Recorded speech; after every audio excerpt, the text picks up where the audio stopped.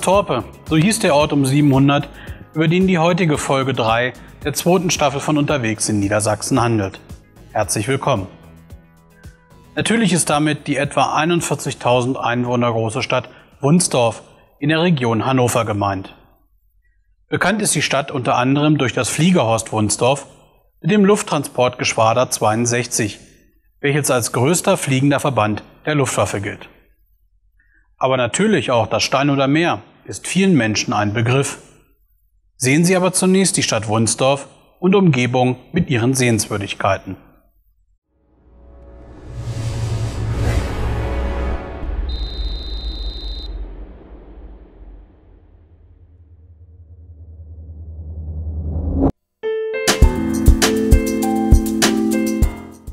Wunsdorf liegt in der Region Hannover. Die Stadt besteht aus 14 Stadtteilen und umfasst mit Stand des 31. Dezember 2010 41.244 Einwohner. Um 700 wurde die Stadt Wohnheerestorpe genannt. 1261 erhielt Wunsdorf bereits die Stadtrechte.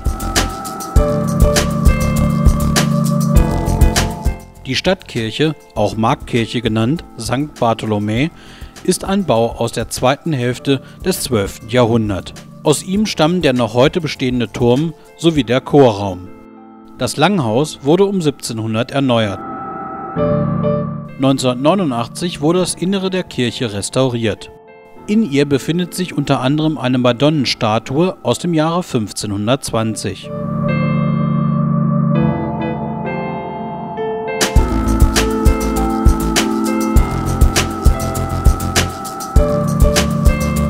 Die Innenstadt Wunsdorfs zeichnet sich zum Teil von alten, giebelständigen Häusern aus. Jedoch werden auch moderne Bauten in das Stadtbild eingefügt.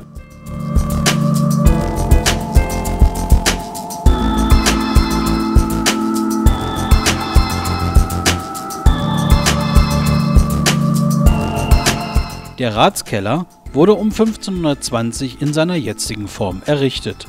Die ältesten Teile des Gebäudes stammen jedoch bereits von 1501.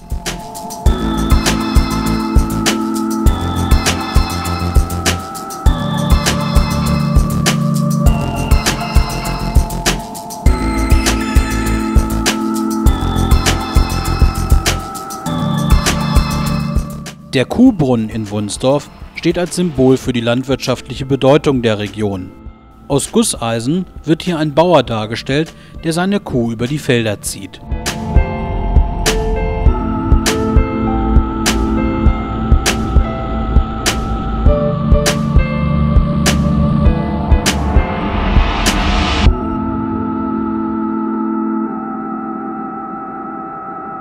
Die Straße mit dem Namen Wasserzucht war früher das Armenviertel. Hier wurde das Wasser zum Bierbrauen aus dem nahegelegenen Fluss gezogen. Heute wird die Wasserzucht als eine der schönsten Gassen Wunsdorfs bezeichnet.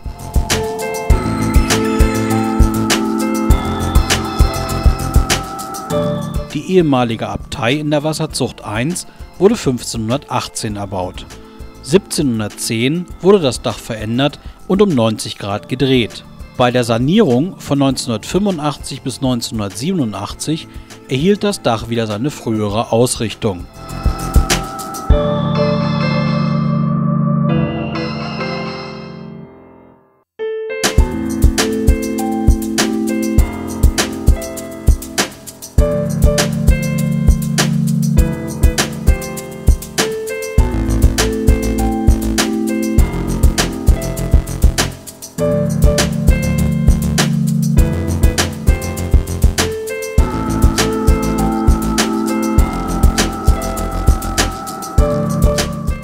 Neben der Stiftkirche befinden sich viele Häuser, die zwischen dem 16. und 18. Jahrhundert erbaut wurden. Diese waren Bauten des ehemaligen Stiftes.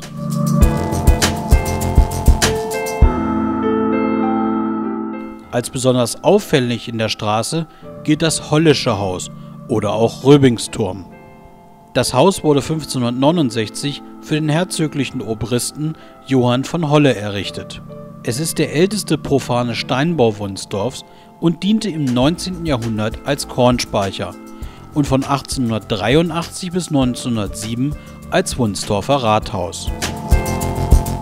Im Ortsteil Bokelow befindet sich das Kali-Bergwerk Siegmundshall der Kali und Salz AG. Das Bergwerk wurde 1896 gegründet. Die weißgraue Abraumhalde, ein sogenannter Kalimanjaro, ist für eine Höhe von 140 Metern genehmigt.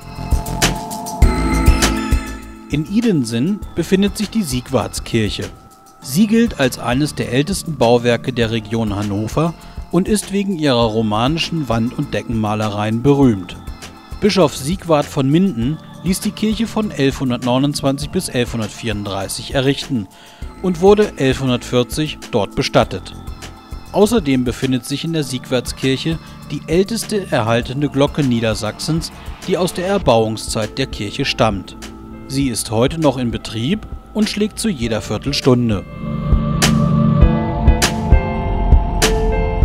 1895 wurde ein neugotischer Neubau gegenüber der alten Kirche errichtet. Zwischen Kleinheidorn und Poggenhagen, welches zu Neustadt am Rübenberge gehört, liegt der 1934 erbaute Fliegerhorst Wunsdorf. Hier ist das Lufttransportgeschwader, kurz LTG 62, beheimatet. Derzeit wird der Fliegerhorst im Vorgriff des Zulaufs des neuen Airbus A400M modernisiert und erweitert. Momentan sieht man häufig Flugzeuge der Baureihe Transall C160 starten und landen.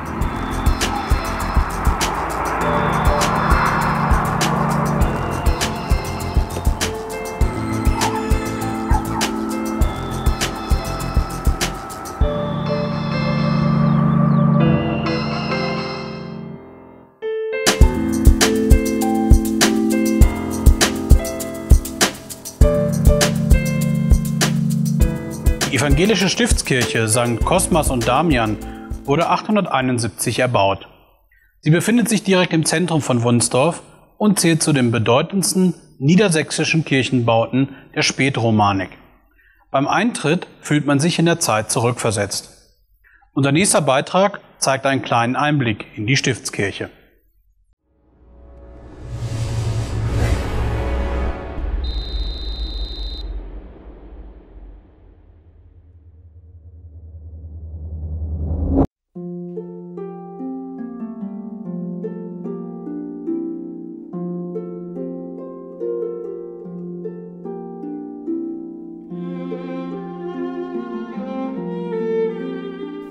Die heute evangelische Stiftskirche St. Cosmas und Damian wurde 871 erbaut. Nach einer wahrscheinlichen Brandkatastrophe im Jahr 1010 blieb die Dreierarkade im Westbau enthalten.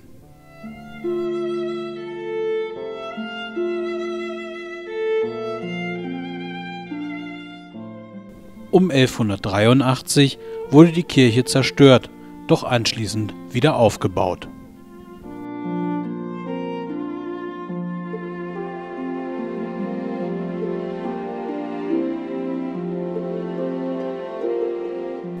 Trotz der baulichen Veränderungen im 14. und 17. Jahrhundert sowie der Restaurierung von 1853 bis 1859 kann man noch sehr gut die Bautradition des westlichen Sachsen unter Heinrich dem Löwen im 12. Jahrhundert erkennen.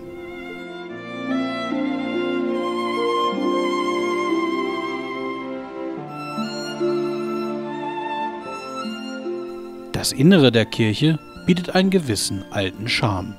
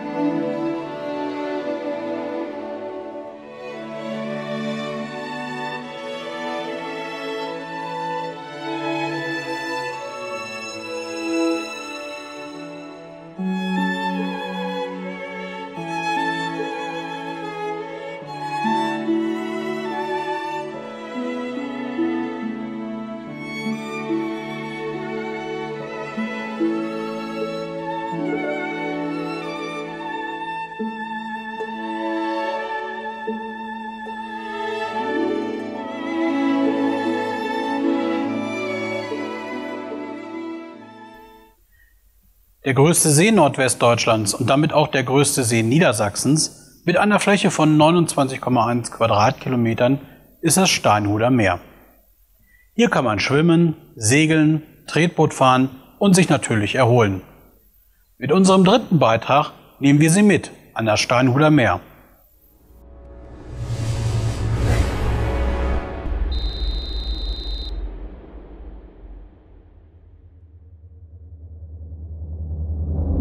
Steinhude ist seit dem 1. März 1974 ein Stadtteil von Wunsdorf. Es handelt sich hierbei um ein kleines Fischerdorf mit ca. 5000 Einwohnern, welches in der heutigen Zeit überwiegend vom Tourismus lebt.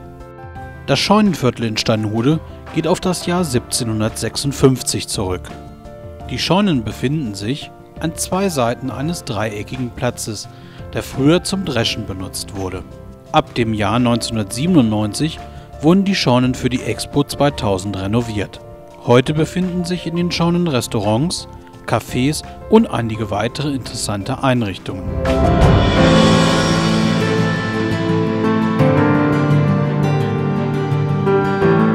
Am Ufer von Steinhude liegt das Steinhuder Meer.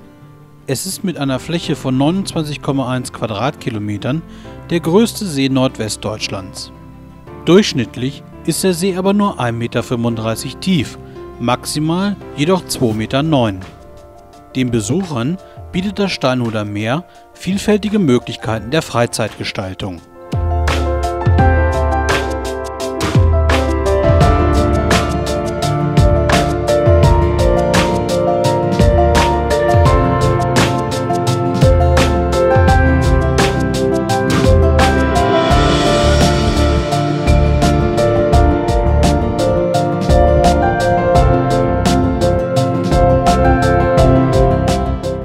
Inmitten des Steinhuder Meers liegt die kleine 1,25 Hektar große Insel Wilhelmstein. Graf Wilhelm zu Schaumburg-Lippe ließ sie zwischen 1761 und 1768 mit einer Festung zur Verteidigung errichten. Heute kann man die Insel mit Booten besuchen.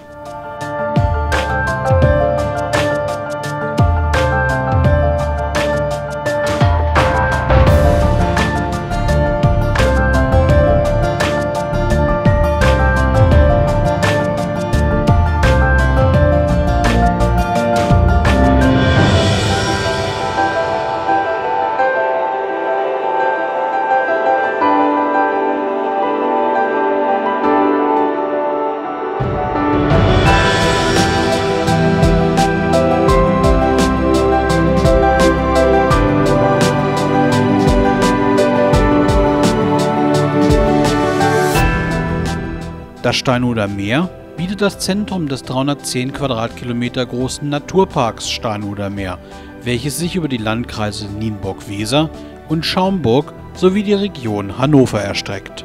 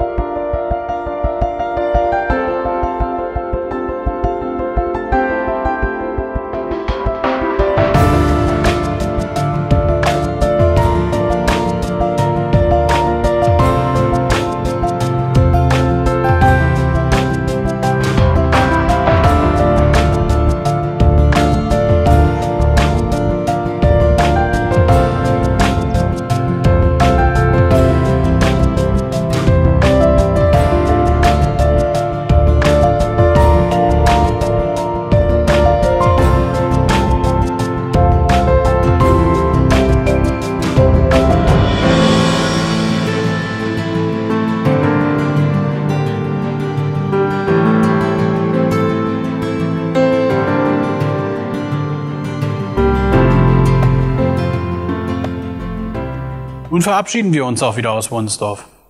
Wir hoffen, diese Folge von Unterwegs in Niedersachsen hat Ihnen gefallen. Wenn ja, dann abonnieren Sie doch unseren Kanal, um automatisch immer über die neuesten Folgen informiert zu werden. Wir hoffen, Sie auch beim nächsten Mal wieder begrüßen zu dürfen. Bis dahin, vielen Dank fürs Zuschauen.